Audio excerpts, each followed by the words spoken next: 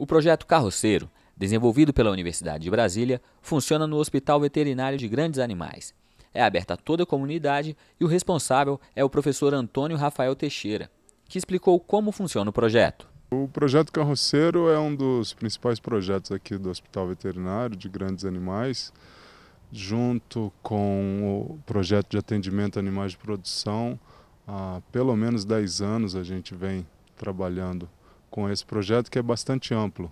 Não não está relacionado só a animais ah, de carroceiros.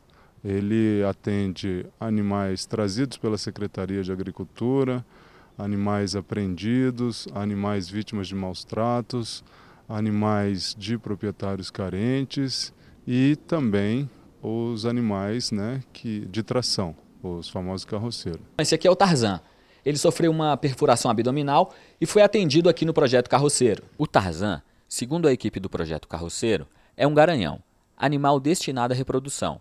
O Tarzan se machucou brigando por uma fêmea, foi atendido no hospital veterinário e está se recuperando. A gente recebeu uma ligação falando que o cavalo tinha se machucado numa briga, né? Ele é garanhão, eles geralmente tendem a brigar um com o outro, e tinha recebido uma estacada. A gente achou que ia se chegar só um ferimento, né, básico, assim, na hora do almoço. Aí, uma hora da tarde, mais ou menos, chegou o cavalo, tinha uma faixa na, no abdômen, né, e ele estava eviscerado. Estava com todo, praticamente todo o intestino delgado para fora. Aí a gente, já, ele estava com muita dor, então a gente já saiu correndo com ele para a sala de indução.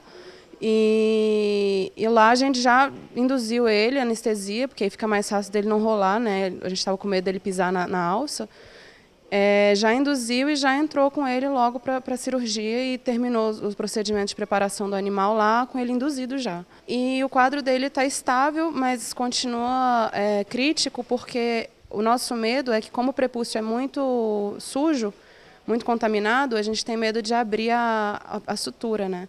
E aí eviscerar de novo. Então a gente está um pouco receoso por isso, mas o quadro geral dele está tá estável, tá bom. O hospital, desde que foi inaugurado, isso já são ah, pelo menos 14 anos, ele vem atendendo aí num número crescente de animais e quando a gente completou 10 anos a gente já tinha atendido 4 mil animais, isso dá um total de 400 por ano, mais de um por dia. E ao passo que o tempo vem passando, hoje já, a gente já atende em torno de 500 animais por dia, sendo que 70, 60, 70% desse número é composto dos equídeos. No que se refere aos carroceiros, né, existe uma política da Secretaria de Agricultura, que é a nossa parceira, que cadastra esses animais nas regiões administrativas.